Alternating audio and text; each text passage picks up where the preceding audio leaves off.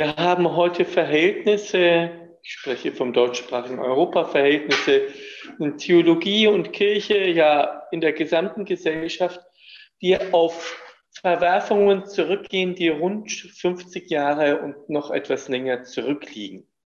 Während anderes wie die Zeit in Deutschland 1933 bis 1945, der Zweite Weltkrieg, auch der Erste Weltkrieg, sehr scharf beleuchtet werden und stärker im Bewusstsein sind, äh, denken heute nur wenige Menschen und wissen nur eher wenige Menschen Bescheid über das, was in den 60er Jahren in, im westlichen Europa sich abgespielt hat. Und doch wurden in der Zeit die Weichen gestellt, aus denen sich das ergeben hat, worin wir heute mittendrin stecken und was sich auch weiterentwickelt.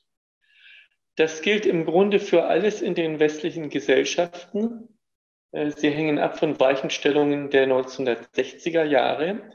Im Besonderen gilt es aber auch für die Einrichtung hier, die SCH Basen. Wir haben Ende September unser 50-jähriges Bestehen feiern dürfen und die Veranstaltung jetzt dient dem Rückblick auf das, was damals vor 50 Jahren überhaupt gewesen ist. Auf die wirklich äußerst äh, bewegte und auch sehr konfrontative Zeit der 1960er Jahre in Deutschland, in den deutschen evangelischen Landeskirchen.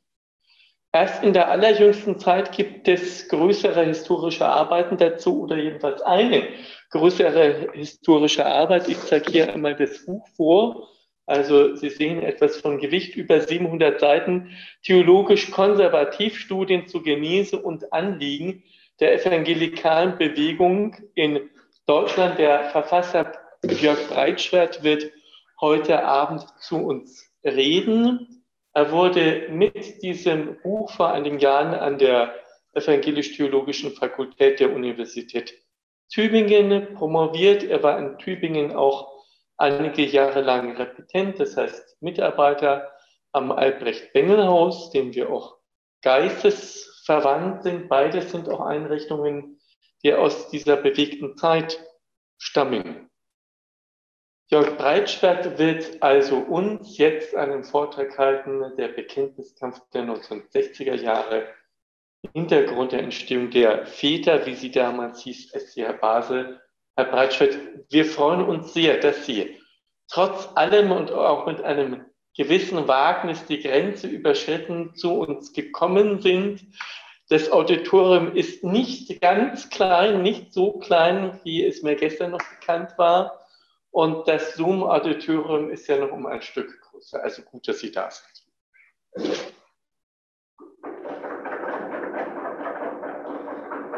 War ja auch in, der Deu in Deutschland in der heißen Phase des Bekenntniskampfes äh, sehr einflussreich. Aber innerhalb der evangelischen Allianz und auch in der Bekenntnisbewegung umstritten. Sein hermeneutischer Ansatz, die Verteidigung der Irrtumslosigkeit der Schrift wie auch sein Eintreten für den Kreationismus brachten ihn in einen Gegensatz zu führenden Vertretern der deutschen evangelikalen Bewegung. Sein großer Verdienst aber innerhalb der deutschsprachigen evangelikalen Bewegung war vor allem die Gründung der Freien Evangelisch-Theologischen Akademie vor 50 Jahren hier in Basel.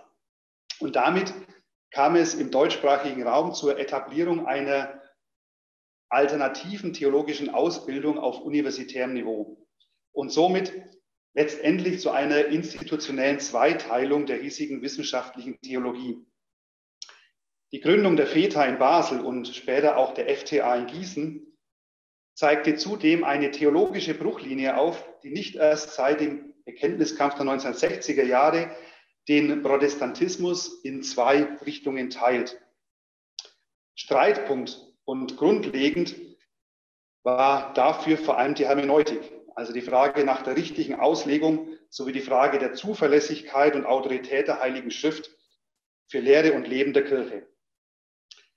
Der bedeutende deutsche Historiker Thomas Nipperdey sprach in seiner dreibändigen deutschen Geschichte in diesem Zusammenhang von einer impliziten Konfessionalisierung des Protestantismus, also von einem unausgesprochenen theologischen Gegensatz, der, ich würde sagen, bis heute quer durch die Landeskirchen, die Gemeinschaftsverbände und mittlerweile auch die Freikirchen sichtbar ist. Der Gegensatz zwischen einer konservativen und einer modernen Theologie.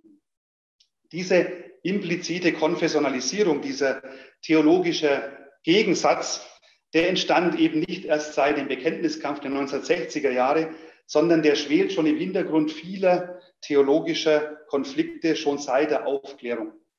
Und deswegen will ich heute Abend versuchen, eben nicht nur den äh, Bekenntniskampf der 60er Jahre darzustellen, sondern den dahinterliegenden theologischen Grundsatzkonflikt zu skizzieren. Dazu muss ich zunächst fast 500 Jahre zurückgehen, um dann langsam wieder ins 20. Jahrhundert zu kommen. Und das nur in einer Stunde. Es kann ja eigentlich nur schief gehen. Also entweder wird es einem irgendwie schwindlig oder man schläft ein. Aber verzeihen Sie mir, wenn es manchmal vielleicht ein bisschen zu schnell geht oder wenn ich manches auch zuspitze, was man sicher noch detaillierter und differenzierter darstellen müsste.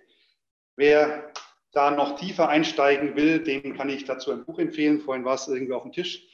Genau. Kleine Eigenwerbung. Genau. Jetzt versuche ich mal in einer Stunde oder einer Stunde, fünf Minuten, mal schauen, ähm, da einen kurzen Ritt zu wagen. Zunächst der erste Punkt, der theologische Grundkonflikt. In den Auseinandersetzungen der evangelikalen Bewegungen, der evangelikalen Bewegung mit Universitäten und Landeskirchen seit den 1960er Jahren, also dem sogenannten Bekenntniskampf, fiel immer wieder das äh, Schlagwort Schrift und Bekenntnis. Der Vorwurf, der lautete, dass Kirchen- und Universitätstheologie in ihren theologischen Entscheidungen sich nicht mehr von ihrer Bindung an Schrift und Bekenntnis leiten lassen, sondern zunehmend dem Zeitgeist huldigen würden. Aber was ist unter diesem Vorwurf zu verstehen? Woher kommt die Mahnung, die Kirche sei vor allem und zuerst Schrift und Bekenntnis verpflichtet? Die Grundlage dieser Mahnung ist das protestantische Schriftprinzip. Nach Luthers Tod im Jahre 1546 gab es innerhalb der lutherischen Theologen schwere Auseinandersetzungen hinsichtlich der richtigen Lehre. Und diese Streitigkeiten endeten 1580 mit einem Vertrag der in einem Vertragsbuch, dem sogenannten Konkordienbuch, niedergeschrieben wurde, in dem versucht wurde, alle strittigen Fragen zu beantworten. Dieses Konkordienbuch ähm, wurde eingeleitet durch eine Einleitungsformel, die Konkordienformel, die grundlegend für alle weiteren theologischen Fragen war. Und diese Konkordienformel begann mit folgenden Worten. Wir glauben, lehren und bekennen, dass die einige Regel und Richtschnur, nach welcher zugleich alle Lehren und Lehre gerichtet und beurteilt werden sollen, sind allein die prophetischen und apostolischen Schriften Altes und Neues Testaments. Wie geschrieben steht, dein Wort ist meines Fußes Leuchte und er liegt auf meinem Weg. Und bei Paulus, wenn ein Engel vom Himmel käme und predigte anders, der soll verflucht sein, Galater 1.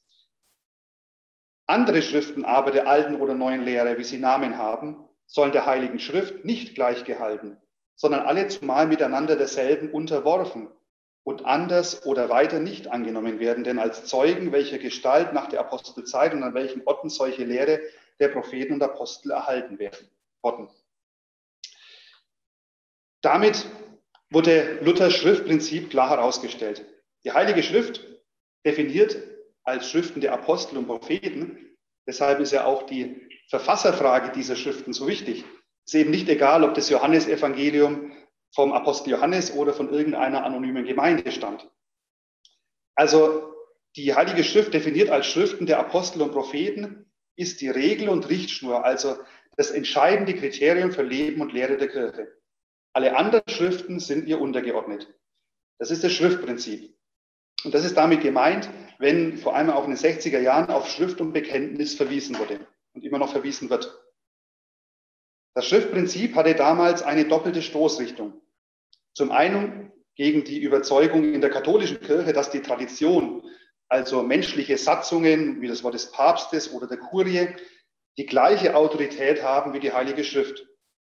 Und zum anderen gegen die Schwärmer, die behaupteten, dass der Geist auch ohne die Heilige Schrift direkt zu ihnen sprechen und ihnen Gottes Weisung für bestimmte Fragen offenbaren kann. Dieses Schriftprinzip wurde dann später im 17. Jahrhundert zu einer Lehre von der Heiligen Schrift weiterentwickelt. Ihr Johann Gerhard äh, einer der bedeutendsten Theologen der lutherischen Orthodoxie, der entwickelte die sogenannte verbale Inspirationslehre und lehrte, dass Gott die entscheidende Wirkursache der Heiligen Schrift ist. Durch göttliche Eingebung, so Gerhard, also durch Inspiration wurde die Hand der Verfasser der Heiligen Schrift beim Schreiben geführt. Und durch die Einhauchung Gottes geschah es, dass der Heilige Geist ihnen das, was zu schreiben war, mitteilte und ihrem Geiste gleichsam in die Feder diktierte. Also hier äh, Bild von Rembrandt, fast Zeitgenosse Gerhards, der ähm, Evangelist Matthäus. Da sieht man das genau, wie der, wie der Engel sozusagen ähm, dem Matthäus das, das einflüstert, ähm, was, er, was er schreiben soll. Diese Überzeugung, dass Gott der Ursprung der Heiligen Schrift ist, teilte auch bei allem Gegensatz zur Orthodoxie der Pietismus. Spener, hier im Bild, ging sogar davon aus, dass die heiligen Buchstaben vom Himmel gefallen seien, dass der Heilige Geist aufgepasst hat, dass es keinen Irrtum gibt. Also letztendlich nicht nur die Sache allein sei inspiriert, sondern ein jedes einzelne Wort. Das ist jetzt äh, natürlich Latein. Ähm, wer es schnell übersetzen will, ja, hat jetzt noch kurz Zeit. Also ähm, nicht nur die Sache ist inspiriert, sondern jedes einzelne Wort. Auch Johann Albrecht Bengel betonte, dass eben nicht Menschenwille die Weissagung geführt habe, sondern Menschen sind beim Weissagen geführt worden. Sie haben sich nicht aktiv handeln, sondern passiv leidend dabei verhalten. Man kann also festhalten, Luther, die Orthodoxie und der Pietismus hielten daran fest, dass die Heilige Schrift von Gott inspiriert ist. Nicht nur der Sache nach, sondern im Wortlaut. Dass also letztendlich Heilige Schrift und Wort Gottes im Ganzen identisch sind. Das heißt, es gibt kein Wort Gottes außerhalb der Heiligen Schrift und es gibt auch innerhalb der Heiligen Schrift nichts, was nicht Wort Gottes ist.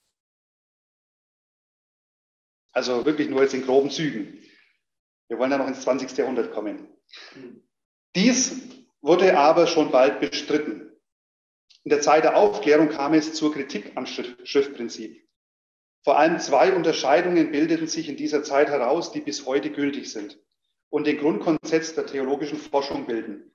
Zum einen die Unterscheidung von Wort Gottes und Heiliger Schrift und zum anderen die Trennung von Geschichte und Glaube. Zunächst zur Unterscheidung von Wort Gottes und Heiliger Schrift. Johann Salomo Semmler, einer der Wegbereiter der historisch-kritischen Forschung, erklärte in seiner berühmten Kanonschrift, Heilige Schrift und Wort Gottes ist gar sehr zu unterscheiden. Zu der Heiligen Schrift, wie dieser historische relative Terminus unter den Juden aufgekommen ist, gehört Ruth, Esther, Esra, Hohes Lied und so weiter. Aber zum Wort Gottes, das alle Menschen in allen Zeiten weise macht zur Seligkeit, zum göttlichen Unterricht für die Menschen gehörten diese heilig genannten Bücher nicht alle. Also, das Wort Gottes ist in der Bibel zwar enthalten, aber nicht mit ihr identisch. Ruth, Esther, Esra, Hohes Lied sind zwar Teile der Bibel, aber eben nicht Gottes Wort. Weiter sagt Semmler, es ist mir unbegreiflich, wie es geschehen kann, dass nachdenkende Christen und sogar Lehrer, die nach ihrem Beruf helfen sollen, dass die heilsame Erkenntnis wachse, sogar heutzutage noch immer sich selbst hier verirren können und heilige Bücher oder Schriften der Juden und das hier und da nicht durch und durch darin enthaltene, mitgeteilte, eingekleidete Wort Gottes oder allgemeine moralische Belehrung an alle Menschen immer verwechseln. Und noch deutlicher, wie lange will man aber unsere Christen täuschen mit solchen Larven, die Bibel sei ganz Gottes Wort? Schande und Sünde ist es für Lehrer, dass sie solche Stroh und Spreu noch herumtragen und Paulus und Christus ins Angesicht widersprechen. Es ist nach Semmler also eine Schande, eine Täuschung, eine Sünde für jeden Theologen, der das Wort Gottes mit der Bibel gleichsetzt.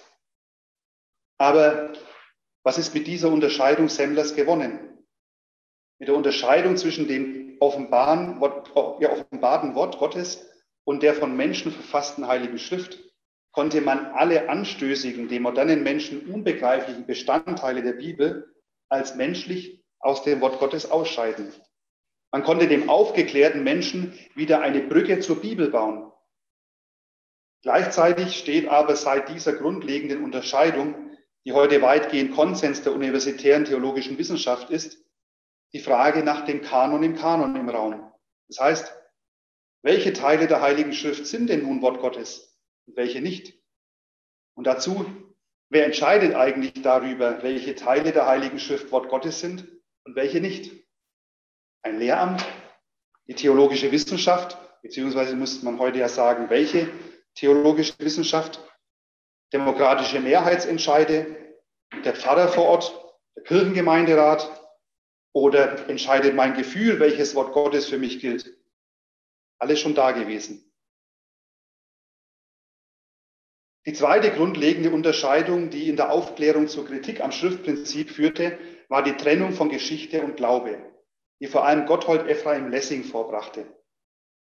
Bisher ging man davon aus, ich habe jetzt zur Veranschaulichung mal das berühmte Kranachbild von Luther als äh, Prediger äh, gewählt. Bisher ging man davon aus, dass unser christlicher Glaube auf konkreten Geschehnissen in Raum und Zeit beruhe. Dem Heilsereignis. Im 19. Jahrhundert nannte man dies Heilstatsachen.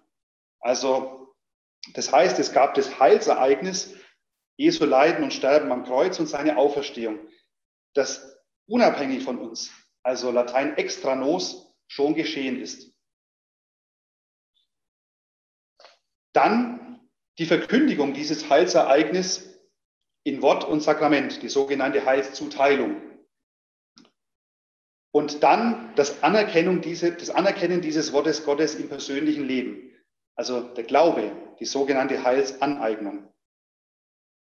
Lessing durchbrach nun diesen Dreischnitt an einer entscheidenden Stelle. Er bestritt die Basis, das Heilsereignis. Und zwar nicht geschichtliche Ereignisse, also die Heilstatsachen, können die Grundlage unseres Glaubens sein, sondern nur reine Vernunftwahrheiten, also Überzeugungen, die wir nur durch Logik erfassen können. Also der Beweis dafür, dass es Gott gibt, werde dann eben nicht, dass es uns Gott selbst in seinem Wort offenbart hat, beziehungsweise dass Menschen über ihre Erfahrungen mit Gott berichtet haben, sondern lediglich der logische Schluss, dass es zum Beispiel, weil es auf der Erde das Gute gibt, auch ein höchstes Gut geben muss. Oder weil es intelligente Wesen auf der Erde gibt, es auch ein höchstes intelligentes Wesen geben muss. Man könnte auf den ersten Blick denken, na und? Hauptsache, man geht davon aus, dass es Gott gibt. Das Problem dabei war aber, dass dadurch der Glaube keine geschichtliche Grundlage mehr brauchte. Der Glaube wurde damit ein Produkt des eigenen Nachdenkens. Lessing stellte nämlich diese Grundlage nicht nur neben die Heilsereignisse, neben die geschichtliche Grundlage des Glaubens, sondern er ersetzte sie. In einem berühmten Satz fasste er zusammen, zufällige Geschichtswahrheiten können der Beweis von notwendigen Vernunftwahrheiten nie werden. Der Glaube zählte für ihn zu den Vernunftwahrheiten. Und somit spielte für ihn und alle, die in seiner Nachfolge standen, seither das geschichtliche Heilsereignis. Also Fragen wie, ist Jesus wirklich leiblich auferstanden? War er der Sohn einer Jungfrau? Konnte er übers Wasser laufen? Konnte er Menschen heilen? Keine Rolle mehr für den Glauben. Das ist ja das, was man bis heute in Diskussionen immer wieder hört. Du klammerst dich an menschliche Krücken. Du machst deinen Glauben an historischen Dingen fest. Was ist denn, wenn die historische Wissenschaft herausfindet, dass das alles nicht so geschehen sein kann? Fällt dann alles zusammen? Solche Argumentationen laufen im Grunde immer nur unter den beiden Voraussetzungen der Aufklärung. Die Heilige Schrift ist nicht identisch mit dem Wort Gottes und geschichtliche Begebenheiten beziehungsweise die Heilstatsachen sind nicht die Grundlage des christlichen Glaubens. Von daher spricht man in der theologischen Wissenschaft gemeinhin von der Krise des Schriftprinzips seit der Aufklärung. Es gibt seither im Grunde zwei Richtungen oder zwei unausgesprochene Konfessionen im Protestantismus, die miteinander im Streit liegen. Die eine traditionelle Richtung verteidigt das Schriftprinzip in seiner ursprünglichen geschichtlich konkreten Aussageabsicht. Und die andere fortschrittlichere Richtung versucht, den Glauben mehr abstrakt als logische Vernunftwahrheit zu fassen und damit einer säkularisierten Gesellschaft annehmbarer zu machen. Wenn man jetzt Schleiermacher noch dazu nimmt, dann kommt noch eine weitere Glaubensgrundlage hinzu, das religiöse Erlebnis. Aber das würde jetzt zu weit führen. Gemeinsam ist allen, etwas anderes als das Heilsereignis extra nos begründet unseren Glauben. Das ist grob gesprochen der theologische Grundlagenkonflikt, in dem wir bis heute stehen. Das ist natürlich auch nur vereinfachend. Es gibt nicht nur Schwarz und Weiß, sondern es gibt ganz viele Grautöne. Doch die großen theologischen Auseinandersetzungen seit der Aufklärung, besonders im 19. und 20. Jahrhundert, bewegen sich genau in diesem Rahmen. Von daher ist es meines Erachtens elementar wichtig, diese Grundlagenklärung nicht aus den Augen zu verlieren. Viele Stellvertreterkämpfe beruhen darauf, dass dieser Grundlagenkonflikt nicht geklärt ist.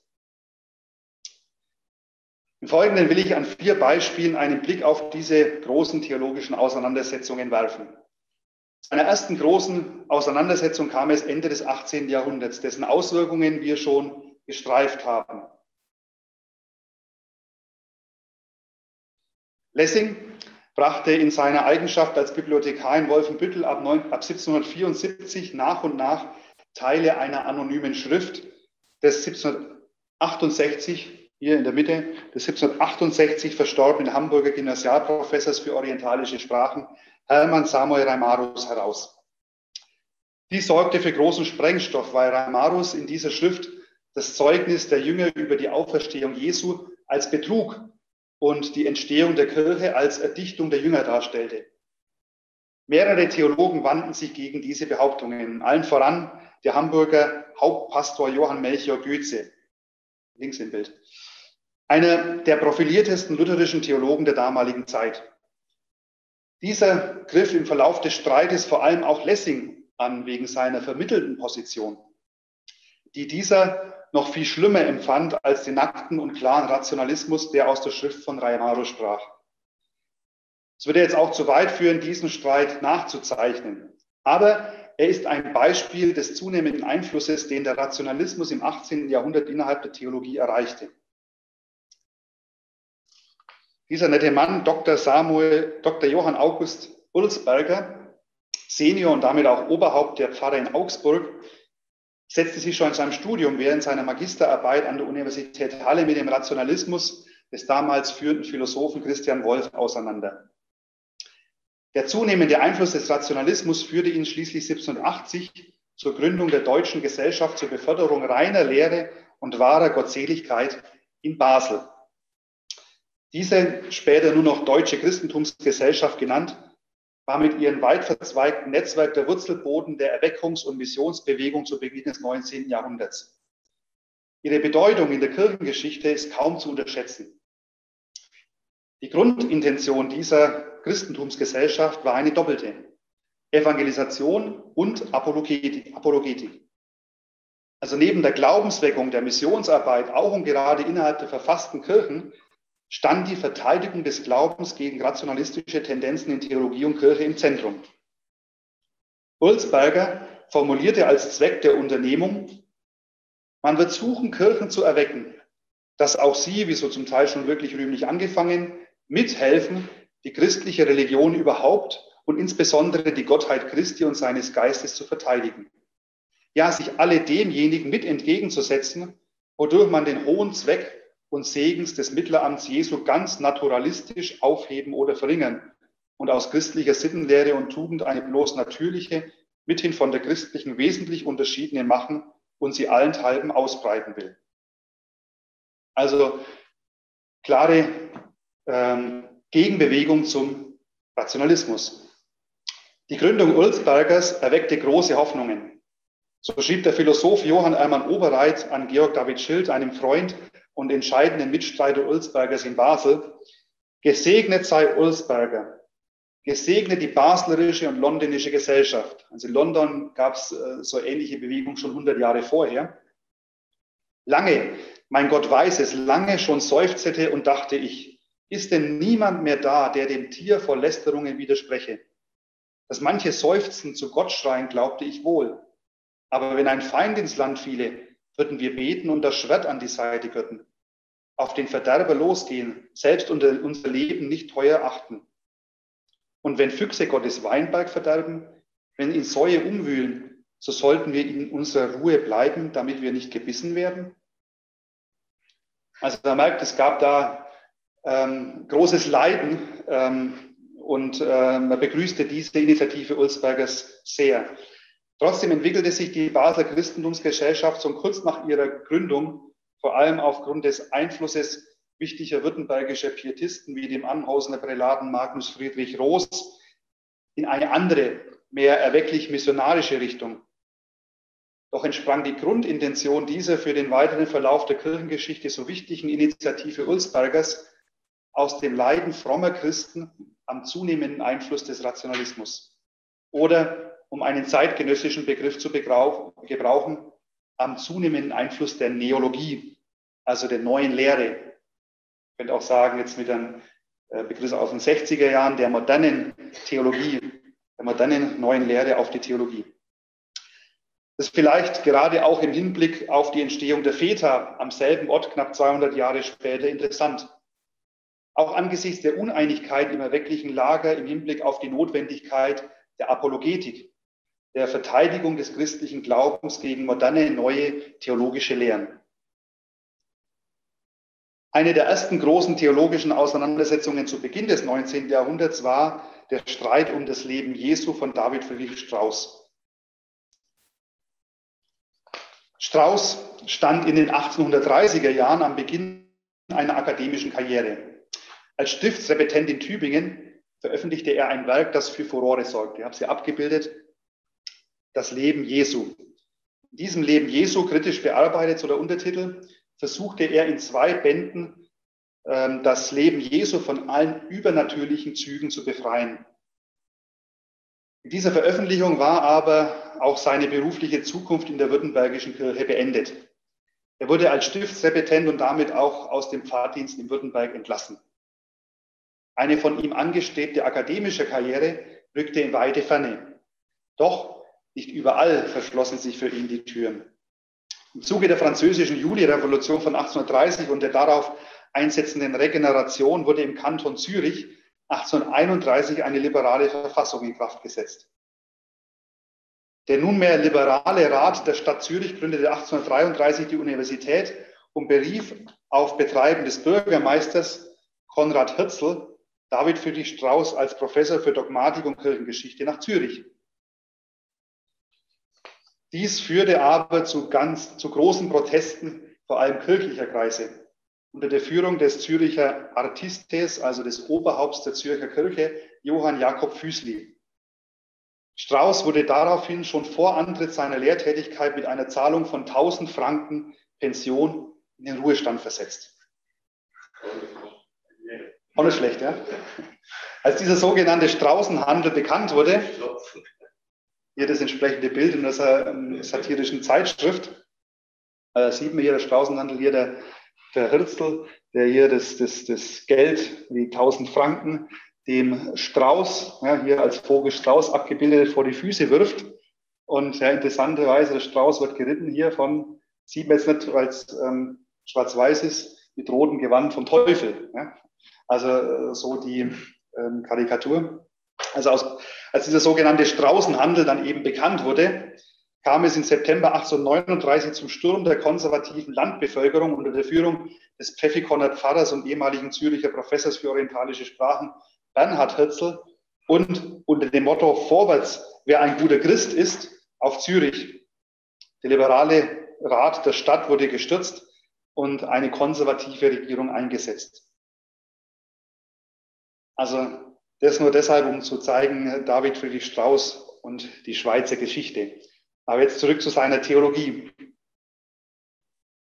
Als Hegelschüler betrachtete Strauss Gott als Idee die sich in der gesamten Menschheit als Menschlichkeit realisiert. Die Rede von der Fleischwerdung Gottes interpretierte er als Idee, als eine Spekulation im hegelischen Sinne. Das heißt, nicht nur in Jesus als Einzelexemplar habe sich diese Idee verwirklicht, sondern die Idee könne sich in der gesamten Menschheit manifestieren.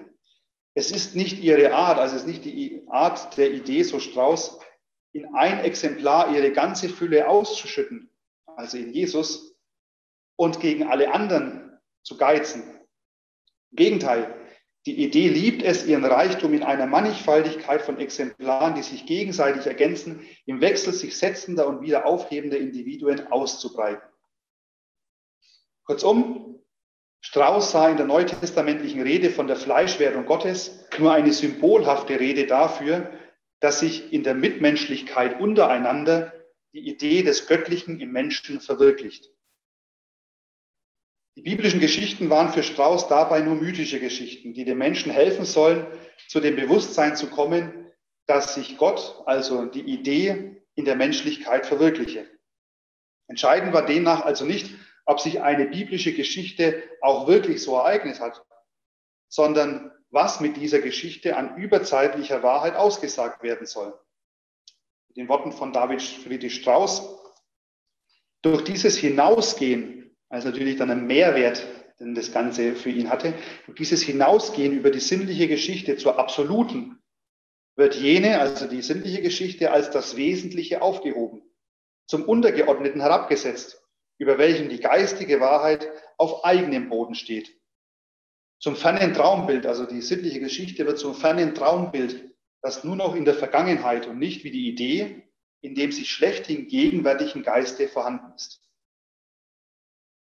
Strauß wollte also den Glauben vom Festhalten an das sinnlich-historische, vom Festhalten an den Heilstatsachen, den geschichtlichen Ereignissen weg zum seines Erachtens Eigentlichen führen, zu einem überindividuell geistlichen und letztlich abstrakten, unpersönlichen Vernunftglauben.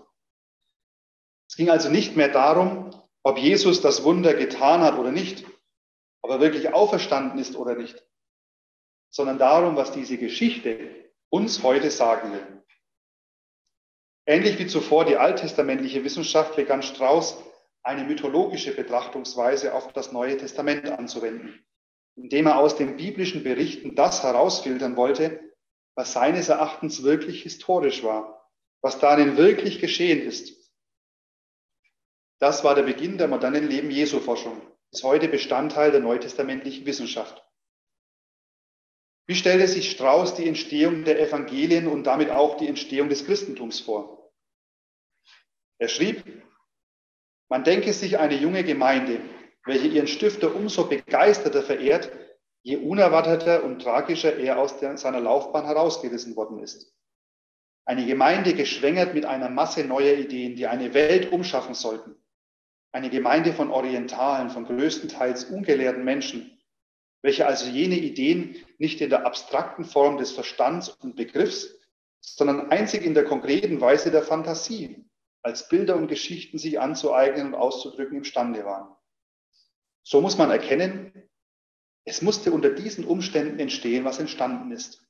Eine Reihe heiliger Erzählungen, durch welche man die, die ganze Masse neuer, durch Jesum angeregter sowie alter auf ihn übertragener Ideen als einzelne Momente seines Lebens sich zur Anschauung brachte. Er ging also davon aus, dass sich um den historischen Jesus viele Fantasiegeschichten gebildet hätten, weil die größtenteils ungelehrten Anhänger Jesus seine Ideen nicht in der abstrakten Form des Verstands und Begriffs, sondern einzig in der konkreten Weise der Fantasie, also als Bilder und Geschichten sich anzueignen und auszudrücken imstande waren. Sie ist also Strauß zufolge, Jesus war ein Lehrer, er hatte eine Botschaft, aber seine ungebildeten Anhänger konnten diese abstrakte Botschaft nur so weitergeben, indem sie in konkrete, ausgedachte, indem, indem sie diese Botschaft in konkret ausgedachte Fantasiegeschichten umformten. Sie konnten sie seiner Ansicht nach zum Beispiel nicht einfach nur abstrakt sagen. Zum Beispiel konnten sie nicht einfach nur abstrakt sagen, dass Jesus ein besonderer Mensch war, sondern sie mussten sich die Jungfrauengeburt ausdenken dies für alle Zeitgenossen einsichtig zu machen. Obwohl Jesus nach Strauß einen menschlichen Vater und eine menschliche Mutter hatte, wie jeder andere auch. Die Rede von Jesus als Gottes Sohn war also für Strauß nur symbolisch zu verstehen. Es war eine mythische Rede. Das Gleiche galt dann auch für alles Übernatürliche, was von Jesus berichtet wurde. Für den Pfarrer der Kontaler Brüdergemeinde Sixt Karl Kapf, der später als Prälat von Stuttgart einer der prägendsten Figuren des württembergischen Pietismus im 19. Jahrhundert wurde. Also vielleicht ist es noch bekannt, das, das äh, Bild von den beiden Wegen, der schmale und der breite Weg äh, von Charlotte Reilen. ähm, das geht auf seine Predigten der Stuttgarter Stiftskirche zurück. Also dieser ähm, Six Karl Kapf, für ihn war diese abstrakte Form des Christentums, die Strauß vorschwebte, mehr als suspekt. Schrieb im Christenboden, äh, der Zeitschrift des württembergischen Pietismus der damaligen Zeit, eine lange Artikelserie gegen die Thesen von Strauß. Darin entgegnete er ihm, wie konnte eine Geschichte, die sie höchstens so glauben, also die die Jünger, die sie erzählten, die die Jünger höchstens so glaubten, wie ein Lügner das, was er oft erzählt, zuletzt selbst glaubt. Wie konnte sie zur Grundlage eines festen, unter allen Stürmen unerschütterlichen Glaubensgebäudes werden? Dass aber vollends diese auf lauter erdichteten Tatsachen ruhende Lehre sich vor aller Prüfung, auch der Gelehrten und Gebildeten halten und ungeachtet aller Bestreitung durch Feinde, die alles aufsuchen, was irgend gegen sie vorzubringen war, doch siegreich sich behaupten, Jahrhunderte hindurch allen Stürmen Trotz bieten, ihren Anhängern Kraft zu den größten Entsagungen und Leiden geben, unter der Schmach und Verfolgung der Welt fortbestehen und endlich Weltreligion werden soll. Das ist rein unbegreiflich, wenn Strauß recht hat. Für den Glauben zentral ist demnach nach Kapf das wirkliche Geschehen, das sich in der Zeit Jesu ereignet hat. Und dabei unterschied Kapf den Glauben und den Glaubensinhalt. Es kann nicht nur darum gehen zu glauben. Entscheidend ist ja, was man glaubt. Kapf. Dabei ist zu scheiden das Glauben und das Geglaubte. Nicht mein oder dein Glauben, auch nicht das notwendig damit verbundene Tun macht selig, sondern das Geglaubte, das außer uns, also extranos, und vor uns geschehen und geoffenbart ist. Das, was in Bethlehem, in Galiläa, in Gethsemane, auf Golgatha durchlebt und erlebt worden ist und in unser Leben bloß übergeht durch den Glauben. Das macht selig so wie nicht mein Trinken meinen Durst löscht, sondern das, was ich trinke. Und nicht mein Essen stillt mir den Hunger, sondern das, was ich esse. Also gutes Zitat. Wie viele seiner Gesinnungsgenossen war Kapf ein rein abstrakter Vernunftglauben zu wenig und zu spekulativ. Glaube beruht auf Heilstatsachen. Das war der Grundkonsens der gegen diejenigen betont wurde, die diese Grundlage aufzulösen versuchten. Auch in Basel kam es in dieser Zeit im Umfeld des Basler Missionshauses, also es ist ein bisschen anachronistisch, das ist irgendwie 1860 errichtet worden, aber ich habe jetzt kein anderes Bild von vorher gefunden. Also im Umfeld des Basler Missionshauses kam es zu einer gewissen Unzufriedenheit mit der an der Universität gelehrten Theologie. Einer der führenden Theologen war der mehrmalige Rektor der Basler Universität und bedeutende Alttestamentler Wilhelm Madrin Lebrecht de Wette. Hier im Bild. Seit 1822 lehrte dieser in Basel. Zuvor arbeitete er bis zu seiner Entlassung aus politischen Gründen eng mit Friedrich Daniel Ernst Schleiermacher in Berlin zusammen. Er war neben Schleiermacher einer der ersten drei Theologen, die 1810 an der neu gegründeten Berliner Theologischen Fakultät lehrten. Er gilt als einer der Wegbereiter der historisch-kritischen Erforschung des Alten und Neuen Testaments.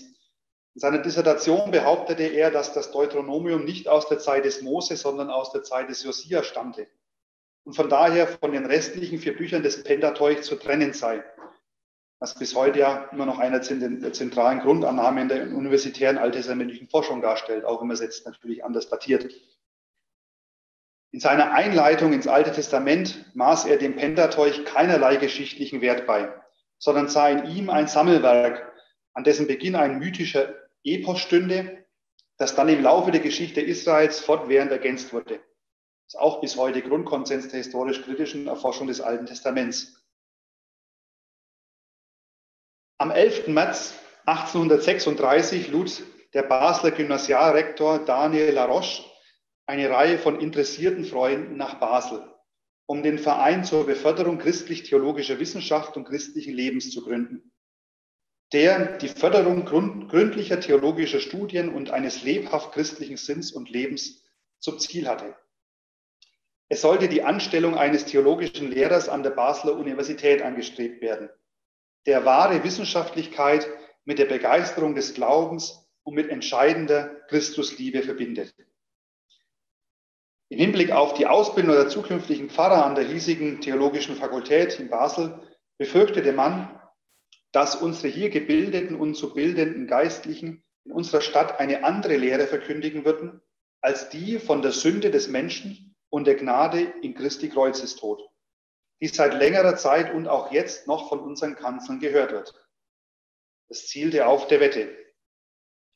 Dieser versuchte schon in einem 1813 erschienenen Werk die orthodoxe Versöhnungslehre zu bekämpfen und Jesu Tod als ein Opfer im menschlich idealen Sinne darzustellen. An die, diesen Lehrstuhl, an diese neue Professur, die man schaffen wollte, stellte man hohe Anforderungen. In einem Fragebogen über einen möglichen Bewerber auf diese Dozentur fragte man nicht nur danach, ob der Bewerber ein entschiedener Christ sei, ob er aus Überzeugung und Erfahrung an das menschliche Sühne, Sündenelend und die freie Gnade durch Christi Tod glaube und im lebendigen und freudigen Glaube stehe, sondern auch danach, ob er bereit wäre, auch dem gelehrtesten und berühmtesten Mann gegenüber von diesem seinem Glauben kräftig Zeugnis abzulegen und dafür Rede zu stehen. Weiter ist er auf der Höhe der theologischen Literatur und ist sein Glaube von Gelehrsamkeit und Wissenschaftlichkeit begleitet sodass er mit Erfolg neben einem der Wette auf dem Katheter wirken könnte. Steht er, wo nicht an Gelehrsamkeit, doch an Geist und Charakter hoch genug, um einem der Wette gegenüber nicht verdunkelt zu werden? So die Anforderungen. Als erster Dozent auf diesen neu geschaffenen, durch Spenden des Vereins finanzierten Lehrstuhls wirkte der berühmte spätere Tübinger Professor Johann Tobias Beck. Sein Nachfolger wurde dann Wilhelm Hoffmann, damals Inspektor des Basler Missionshauses, später Generalsuperintendent der Kurmarkt und, und Hofprediger von Berlin, damit ein sehr einflussreicher Berater König Friedrich Wilhelms IV. von Preußen, der einflussreichste Berater in Kirchenfragen für äh, den preußischen König der damaligen Zeit. Ähm, und ähm, auch Jahre vor seiner Berufung nach Basel, also dieser Hoffmann, war er in den 1830er Jahren gemeinsam mit Six Karl Kapf, der vorhin schon erwähnt war, und David Friedrich Strauß Stiftsrepetent am Tübinger Evangelischen Stift. Das ist ganz interessant, wenn man die Liste so 1835 äh, bei der ganzen Strauß-Sache, wenn man da mal zwischen 1830 und 35 schaut, wer eigentlich alles äh, da in dem Kollegium am Stiftsrepetententisch gesessen, gesessen war, ist hochinteressant. Also unter anderem eben Kapf, Hofmann, Strauß äh, und noch viele andere, ähm, die dann ähm, in verschiedene Richtungen sehr berühmt geworden sind. Konrad von Orelli, Julius Kaftan und Adolf Köberle, das waren weitere äh, bekannte Theologen, die auf dieser Stiftsprofessur in Basel berufen wurden. Auch Martin Kähler, Theodor von Zahn, Adolf, Adolf Schlatter und Karl Heim waren für diesen Lehrstuhl im Gespräch und wären fast auch gekommen, also zum Beispiel Adolf Schlatter ähm, und Karl Heim. Als der letzte Lehrstuhlinhaber Hendrik van Ooyen 1966 in die staatliche Besoldung der Universität Basel übernommen wurde, löste sich 1968, also zwei Jahre vor der Gründung der FETA, der Verein auf. Ein weiteres Beispiel der Auseinandersetzungen im 19. Jahrhundert war der Apostolikumstreit zum Ende des 19. Jahrhunderts. Der Leutzendorfer Pfarrer, also Leutzendorf ist äh, in der Nähe von Rodenburg ob der Taube, wer das kennt, meine Heimat. Ähm, von daher ganz berühmter Pfarrer aus meiner Gegend, Christoph Stempf, und zwar deshalb wegen des Apostolikumstreits. Er weigerte sich damals als Leutzendorfer äh, Dorfpfarrer, das Apostolikum bei einem Taufgottesdienst zu sprechen. Also wir wissen, bei der württembergischen Liturgie ist es so, dass das Apostolikum immer bei äh, Taufe und Abendmahl gesprochen wird. Bei so einem Taufgottesdienst hat sich der Dorfpfarrer Christoph Schrempf eben geweigert, das Apostolikum zu, steffen, zu sprechen, weil er nach dem wissenschaftlichen Studium der Theologie in Tübingen einige Aussagen des Apostolikums nicht mit seinem Gewissen vereinbaren konnte. Interessant, die Gemeinde, die merkte davon nichts. Also so viel zum Thema mündliche Gemeinde. Er hat es einfach nicht bemerkt, dass das Apostolikum weggelassen wurde. Aber Schrempf war so, ähm, soll man sagen, ähm, zuverlässig, dass er sich dann selber bei der Kirchenleitung angezeigt hat. Sein Verhalten führte, wie bei David Friedrich Strauß, letztlich zur Entfernung aus dem Pfarramt. Auch eben Ende des 19. Jahrhunderts, 1891 war das, 92 dann die Entfernung aus dem Pfarramt. Der Fall wurde dann aber deutschlandweit publik, weil einer der berühmtesten Theologen der damaligen Zeit, Adolf von Hannack, äh, Professor für Kirchen- und Dogmengeschichte in Berlin, das Thema aufnahm und in der christlichen Welt, dem publizistischen Schlachtschiff der liberalen Theologie, dazu einen Artikel verfasste. In diesem Artikel schrieb er unter anderem, dass ein gereifter, an dem Verständnis des Evangeliums und an der Kirchengeschichte gebildeter Christ an mehreren Sätzen des Apostolikums Anstoß nehmen müsse. Insbesondere die Jungfrauengeburt war für Hannak nicht mehr zu glauben. Es kam zu großen Auseinandersetzungen. Konservative Kreise hielten dagegen, die Jungfrauengeburt sei das Fundament des Christentums, der Eckstein, an dem alle Weisheit dieser Welt zerschellen wird. Der Streit schaukelte sich hoch.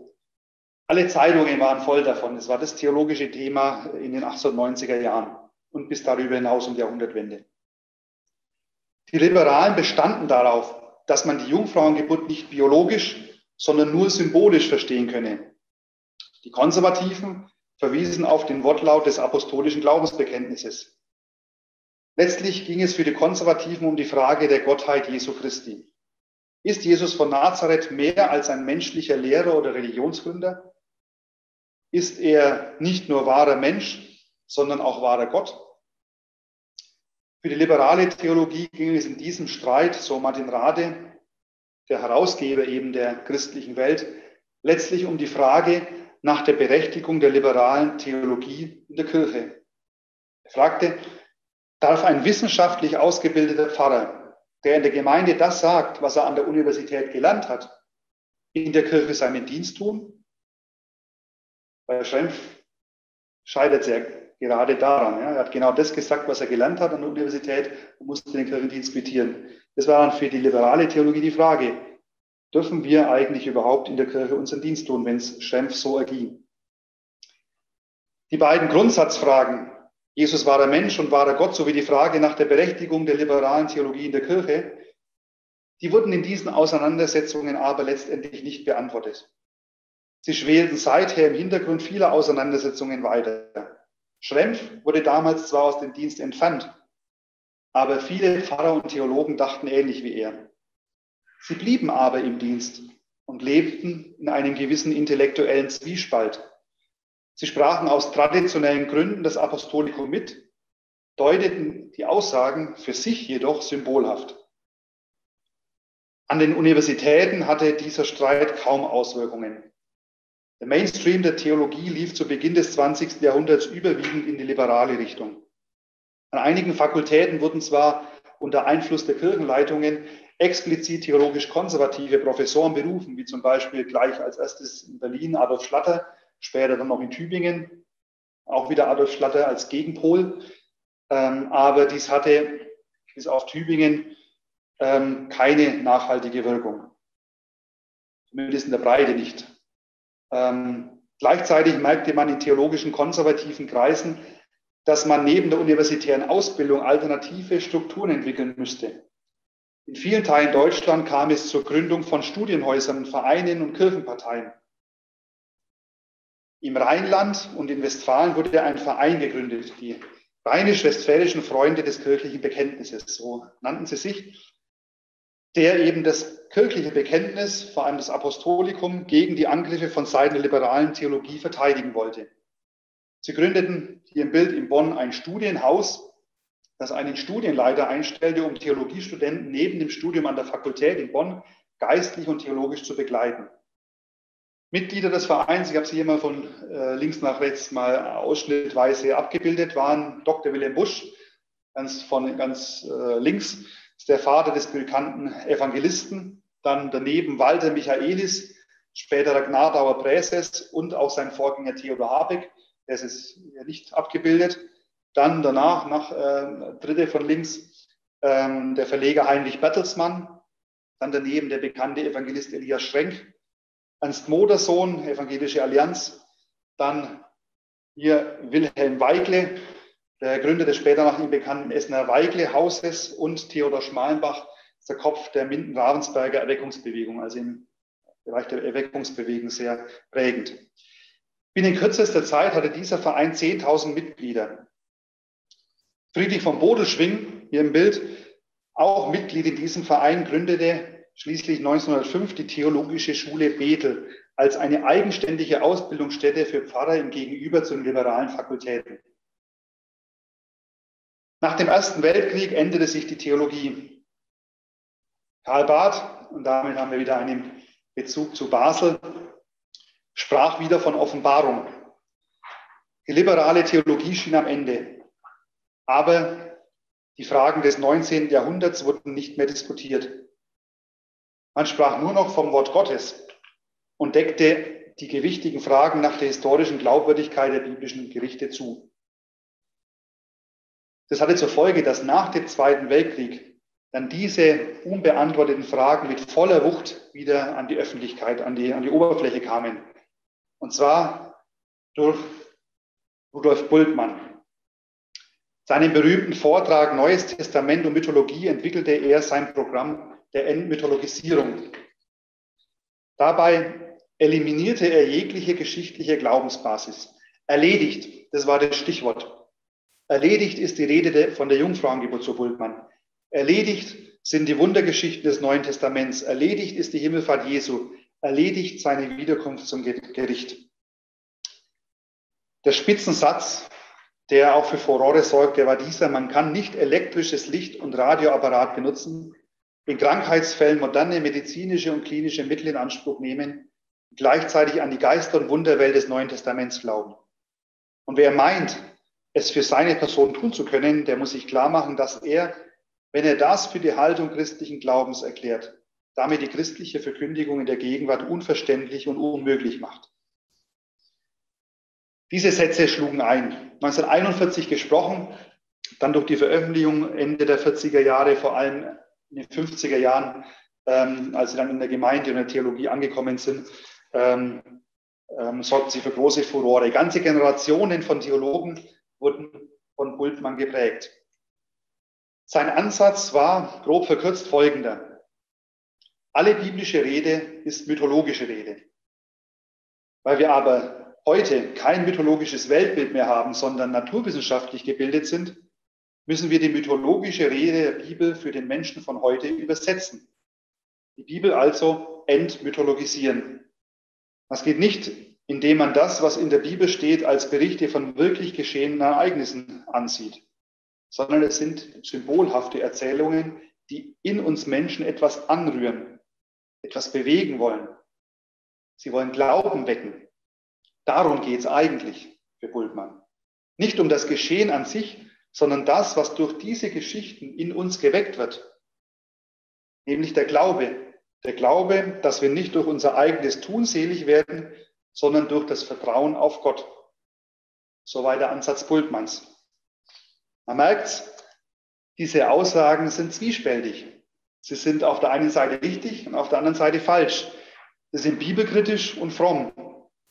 Das war das Faszinierende und gleichzeitig Vernebelnde an Bultmann.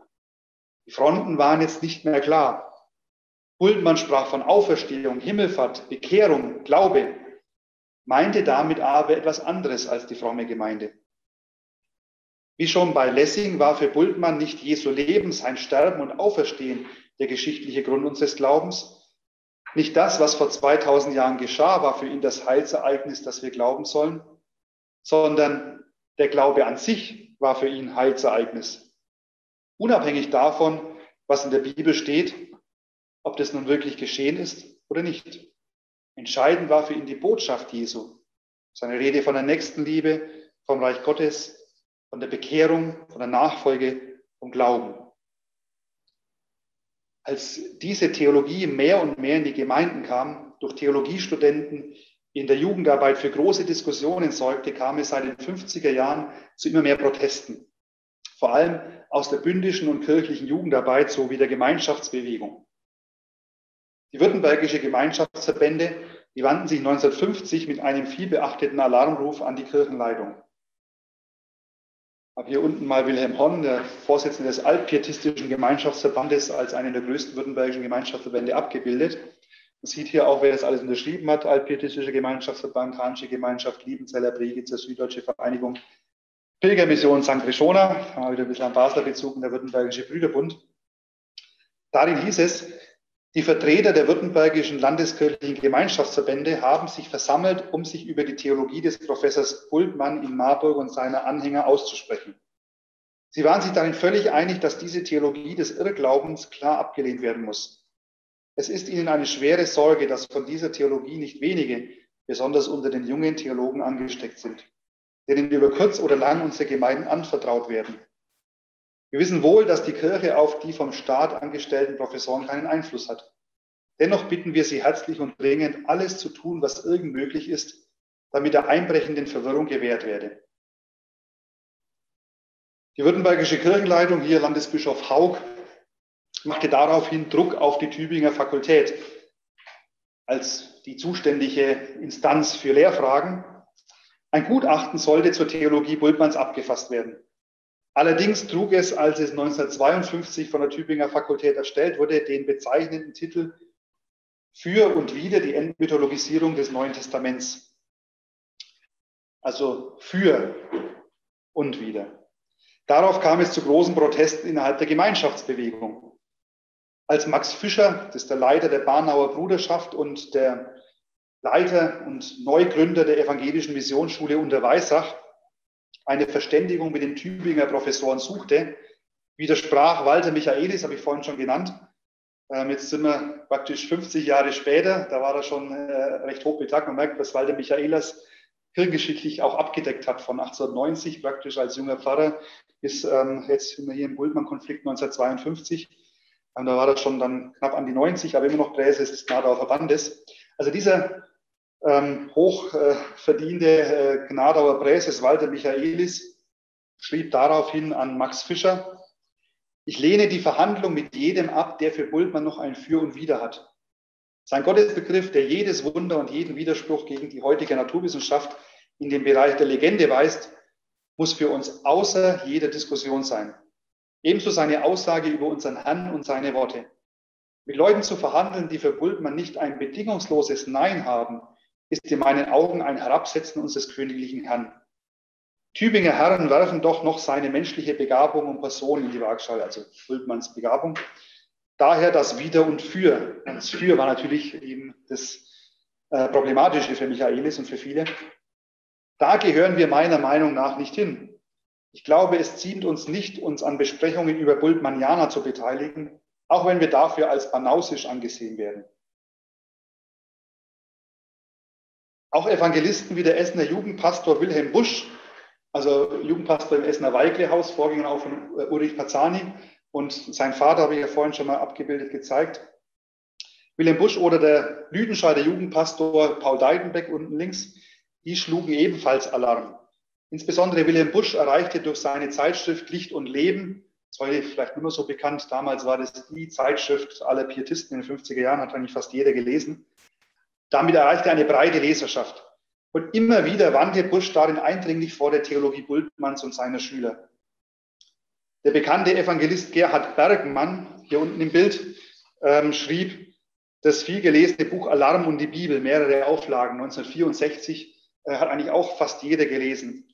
Und da wandte er vor der neuen modernen Theologie Bultmannscher Prägung.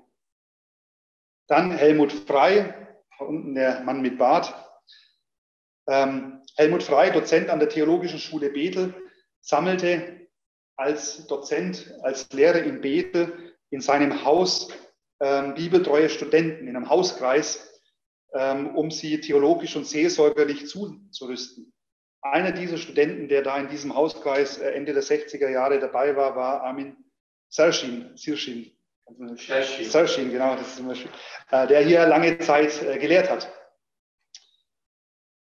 Zunächst gab es noch einige Bischöfe, wie den württembergischen Landesbischof gerade schon erwähnt, Martin Haug, oder die bayerischen Bischöfe Hans Meiser ähm, oder Hermann Dietz Felbinger, die sich gegen Bultmanns Theologie kritisch zu Wort meldeten. Aber immer mehr zögerten die Kirchenleitungen. Daraufhin bildeten sich wieder Initiativen aus dem theologisch konservativen kirchlichen Umfeld, insbesondere als auch der Kirchentag, eine eigentlich erwecklich missionarische Initiative, immer mehr von der Theologie Bultmanns und seiner Schüler geprägt wurde. Im ostwestfälischen Bethel, das bei Bielefeld, entstand die Bekenntnisbewegung um Helmut Frei, Paul Deidenbeck, Rudolf Bäumer und Theodor Brandt. Das ist der damalige Vorsitzende der Deutschen Pfarrergebetsbruderschaft, um da nur einige Namen zu nennen. Ich habe sie ja also oben links Theodor Brandt, Helmut Frei haben wir schon gehabt, ähm, Rudolf Bäumer und Paul Deidenbeck. Andere vielleicht noch von Namen bekannt, ähm, Paul Tegmeier, Nachfolger, gibt es irgendwelche Bläser unter uns? Ja, vielleicht äh, Person. Ah, Bläser, genau. Ähm, Nachfolger von Johannes Kuhler in Bedel als ähm, Vorsteher des Bluthaus Nazareth und ähm, August Spreen, ähm, Vorsitzender des Westfälischen Gemeinschaftsverbands und Sven Findeisen, zu dem sage ich gleich noch was. Also ähm, die bildeten die Bekenntnisbewegung. Ähm, und diese Bekenntnisbewegung protestierte 1966 in Dortmund, deswegen hier ähm, die Westfalenhalle, ähm, mit einer aufsehenerregenden Kundgebung gegen die Entwicklungen der modernen Theologie. Unter dem ähm, der Überschrift Kein anderes Evangelium. Hauptredner war Walter Kühnet, ähm, Erlanger Systematiker. In der Presse wurde darüber groß berichtet. Also eigentlich alle großen deutschen Blätter haben äh, da Artikel gehabt, auch die kirchliche Presse immer ein ähm, Auszug aus einem Artikel. Da heißt es, mancher hat es nicht für möglich gehalten, was am Sonntagnachmittag, den 6. März 1966 in Dortmund geschah. Mehr als 20.000 Menschen aus den verschiedenen Landeskirchen, ja sogar aus Antwerpen und Schweiz, füllten diese riesige Westfalenhalle. Es war damals die größte Halle Europas. Also ähm, waren, Frau und ich waren mal bei Sven Findeisen noch zu Besuch, er lebt ja noch, ähm, Neumünster. Und er hat erzählt, man, äh, als, er, als er den Flyer in seinem Briefkasten hatte, wo dann drauf stand, ähm, 6. März Dortmund der Westfalenhalle, da hat er gleich gedacht, ihr seid doch blemblem, ihr könnt ihr die größte Halle Europas mieten. Und Paul Deidenbeck hat gesagt, ja, wenn es in die Hose geht, dann müssen wir halt die nächsten äh, Wochen und Monate einfach nur ähm, Kartoffeln und, und Brathering essen ähm, und halt dann das Geld sparen. Also es war ein großes Wagnis, aber man hat die ganze Halle gefüllt. Und unter der Losung kein anderes Evangelium rief man eben dazu aus, äh, genau, noch fertig lesen, den ähm, Presseartikel, also ja sogar aus Antwerpen und der Schweiz füllten die riesige Westfalenhalle, um unter der Losung kein anderes Evangelium eine Kundgebung zur Bezeugung des unverkürzten Evangeliums und zum Protest gegen seine Verfälschung zu veranstalten. Also auch Spiegel, Welt und alles, es war ein großes Thema. Dann ähm, nach dieser Veranstaltung in 1966 kam es auch zu ähm, Fernsehinterviews von äh, bekannten Vertretern der ähm, evangelikalen Bewegung zu Diskussionen im Fernsehen zur Hauptsendezeit, Weihnachten, Pfingsten, Ostern im ZDF und ARD, Samstagabend 20.15 Uhr Diskussionen zwischen Walter Kühnet und Günter Klein ähm, zum Thema leibliche Auferstehung. Kann man sich die Augen reiben, ja, kann man sich mal vorstellen, war damals so das Thema. Schnell bildeten sich dann nach dieser Veranstaltung in verschiedenen Landeskirchen Regionalgruppen dieser Bekenntnisbewegung, die Ende der 60er Jahren auch dann als Sammelbecken für Christen ähm, fungierte, die eben an der Autorität der ganzen Heiligen Schrift in Leben und Lehre der Kirche festhalten wollten. Die seit Anfang der 60er Jahre immer mehr gebrauchte, der immer mehr gebrauchte Begriff evangelikal wurde spätestens seit Fritz Laubachs Schrift Der Aufbruch der Evangelikalen zur Bezeichnung dieser Sammelbewegung, der evangelikalen Bewegung. 1969 kam es auf dem Stuttgarter Kirchentag zu einem großen Streitgespräch.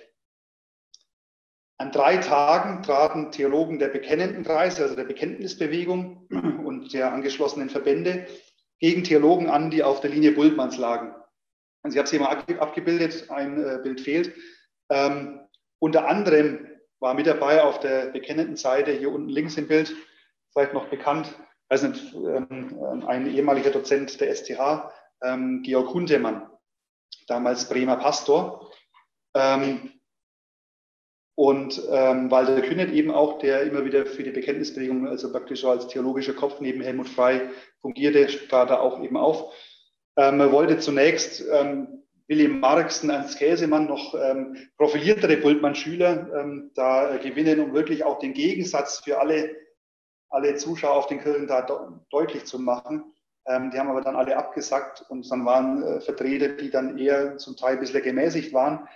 Von daher ähm, ist diese Veranstaltung irgendwie misslungen. Also wenn man Berichte hört, hört man, dass ähm, Diakonissen dann ähm, geklatscht haben, als die kritischen Theologen ähm, ihren Vortrag gehalten haben und ähm, dann am Schluss gar nicht genau wussten, was jetzt eigentlich der Gegensatz war. Also manchmal auch schwierig. Die Themen waren Jungfrauengeburt, leibliche Auferstehung Jesu und seine Wiederkunft zum Gericht, eigentlich zentrale äh, Dinge aus dem äh, zweiten Artikel des Apostolikums. Aber man merkt, es war nicht so ganz einfach, ähm, so die, diese moderne, diese ähm, Bultmannsche Theologie ähm, zu, zu greifen vor eben den, den ähm, ja, Leuten äh, aus der Gemeinde. Es gab auch noch andere Aufeinandertreffen dieser beiden Richtungen in den 60er Jahren, wie die große Disputation zwischen den Professoren Walter Kühnet und Ernst Fuchs in Sittensen. Das ist eigentlich ein kleines Dorf zwischen Hamburg und Bremen, aber hat eine große Kirche und da kamen circa 3000 Menschen zusammen. Aber diese ganzen ähm, Streitgespräche und, und äh, Versuche vor großem Publikum verliefen letztendlich im Sande. Das Anliegen der Bekenntnisbewegung, die moderne Theologie als falsche Lehre zu brandmarken und Pfarrer Bultmannscher Prägung nicht in den Kirchendienst zu übernehmen, beziehungsweise deren Einfluss in Theologie und Kirche zurückzudrängen, der wurde letztendlich nicht umgesetzt. Die Kirchenleitungen hatten ja immer mehr das Interesse, die beiden theologischen Richtungen unter dem Dach der Kirche zu vereinen. Und über die Frage, was denn wirklich schriftgemäß und bekenntnistreu sei, da gingen die Meinungen immer mehr auseinander. So kam es, dass sich in den 70er Jahren immer mehr evangelikale Parallelstrukturen bildeten. Ich habe hier mal einige ähm, aufgezeigt. Aus Enttäuschung über den politischen Weg von Brot für die Welt kam es zur Gründung von Hilfe für Brüder. Als Gegenpol zum evangelischen Pressedienst wurde die Nachrichtenagentur IDEA gegründet. Nach der Verschmelzung des Internationalen Missionsrats mit dem Ökumenischen Rat der Kirchen wurde die Arbeitsgemeinschaft evangelikaler Missionen gegründet. Aus der Enttäuschung über den Weg des Kirchentags entstand der Gemeindetag unter dem Wort heute noch ähm, bekannt als Christustag. Und im Bereich der Ausbildung, deswegen steht hier auch die STH, ähm, kam es wie im 19. Jahrhundert auch schon, habe ich ja gerade äh, für Bonn gezeigt, äh, zur Gründung von Studienhäusern, also wie das Bengelhaus als das größte in Deutschland, gibt es auch noch andere, das Bodelschwinghaus in Marburg, das Hausstudienzentrum in Heidelberg ähm, oder eben das Spenerhaus in Mainz und eben ähm, alternative Ausbildungsstätten wie zunächst 1970 die S, äh, STH in Basel und dann ab 1974 in Deutschland dann auch die FTA, heute ja FTH. Das ist sozusagen jetzt in dem großen Ritt der Zusammenhang, in dem die evangelikale Bewegung und damit eben auch die Gründung der FETA in Basel steht. Zum Schluss noch ein kurzer Blick nach Basel. Dr. Samuel Külling wurde 1964 nach erfolgreicher alttestamentlicher Promotion im holländischen Kampen zunächst als Lehrer auf St. Krishona berufen. 1965 übernahm er dann den Vorsitz und die Schriftleitung äh, im damals noch sehr einflussreichen Bibelbund. Also der Bibelbund hielt auch Tagungen, die sehr gut besucht waren in den 60er Jahren, hatte auch durch die Zeitschrift Bibel und Gemeinde im frommen Umkreis auch eine breite Verbreitung. Und diesen Bibelbund, den prägte er in den folgenden Jahren, er war 15 Jahre lang äh, Schriftleiter und Vorsitzender, ähm, entscheidend theologisch. Kühling war sich zwar mit der Evangelischen Allianz, den Gemeinschaftsverbänden und auch der Bekenntnisbewegung in der Ablehnung der modernen Theologie Bultmannscher Prägung einig. Allerdings kam er insbesondere nach seinem kontrovers beurteilten Vortrag im September 1965 auf der Ratstagung der Europäischen Evangelischen Allianz in einen starken Gegensatz zu führenden Vertretern der evangelikalen Bewegung.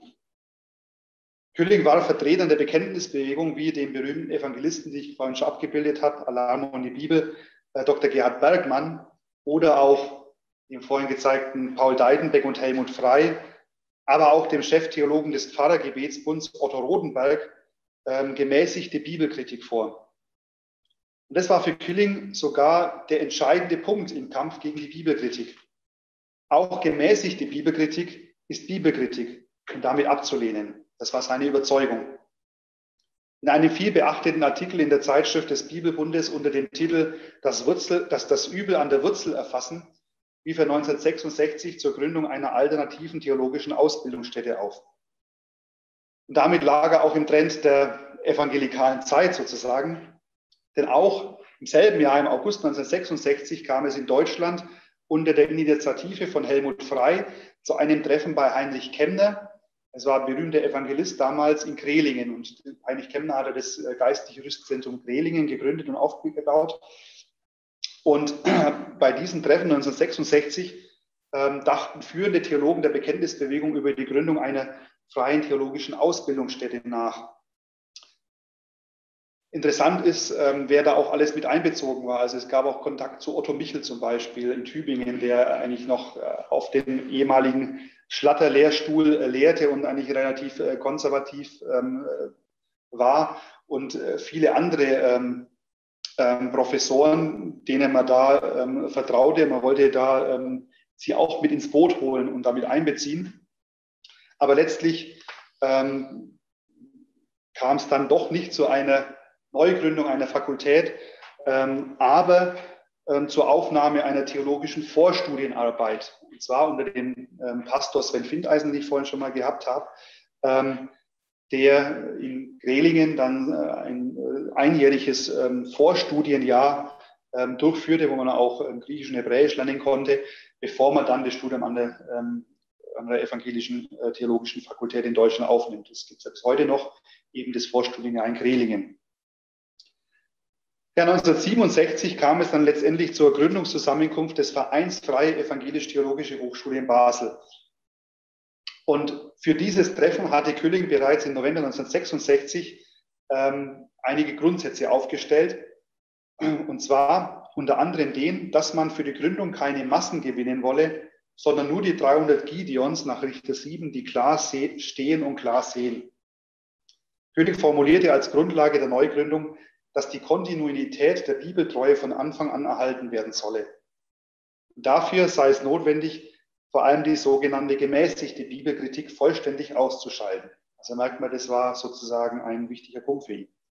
Dazu führte er aus, es wurde mir im Verlauf der Jahre immer klarer, dass wenn wir eine Ausbildungsstätte gründen, die auf die Dauer eine Wirkung haben sollte, es um ein Entweder-Oder, ein Alles oder Nichts geht. Entweder die Bibel als göttliche Offenbarung ernst nehmen oder der Tod ist schon von Anfang an im Topf. Für die Anstellung der Dozenten forderte er, dass jeder Dozent in drei Punkten einig sein sollte. Ganze Inspiration ohne jede Einschränkung, ganze Wahrheit in jeder Hinsicht, ganze Einheit ohne wirkliche Widersprüche. Seit Ende der 1970er Jahre kam Külling aber auch innerhalb des Bibelbundes in die Kritik. Seine offene Haltung zu den Darmstädter Marienschwestern, dieser Bewegung innerhalb der Pfingstbewegung, und dann dadurch eben auch äh, der damit verbundenen Bewertung der Pfingstbewegung, ähm, die war innerhalb des Bibelbundes umstritten. Dass er dann seinen Kritikern und den Kritikern der Pfingstbewegung vorwarf, sie betrieben in ihrer Haltung eine Bibelkritik von innen, es trug nicht gerade zur Entschärfung des Konflikts bei. So sieht man auch, äh, wie es dann manchmal auch zur äh, Grenze kommen kann ähm, ähm, bei ähm, der Frage nach der, ja, was, was, was letztendlich bibeltreu dann ist. Mit Samuel Köhling erhielt die damalige FETA seit ihrer Gründung eine pointierte theologische Ausrichtung im Sinne der 1978 bis 1988 unter anderem auch von ihm mit unterzeichneten Chicago-Erklärungen. Da war er auch der deutsche Vertreter. Diese hermeneutische Ausrichtung Küllings war und ist bis heute in der evangelikalen Welt nicht unumstritten. Doch zeigt die Gründung der FETA im Kontext der theologischen Auseinandersetzungen, die in den 1960er Jahren ja einen gewissen Höhepunkt erreichten, dass sich Kirche und Theologie immer wieder neu ihrer hermeneutischen Grundlagen vergewissern müssen. Der Blick in die Geschichte und damit auch auf die Hintergründe der Gründung der FETA in Basel zeigt, dass die Autorität der Heiligen Schrift in ihrer Gesamtheit und damit die geschichtliche Basis unseres Glaubens immer wieder kritisiert wurde. Spätestens seit der Aufklärung ist das protestantische Schriftprinzip in der Krise bis heute. Von daher ist und bleibt es die Aufgabe evangelikaler, bibeltreuer oder schriftgemäßer Theologie, für jede Generation neu zu fragen, wie am Schriftprinzip, an der Autorität der Heiligen Schrift für Leben und Lehre der Kirche festgehalten werden kann.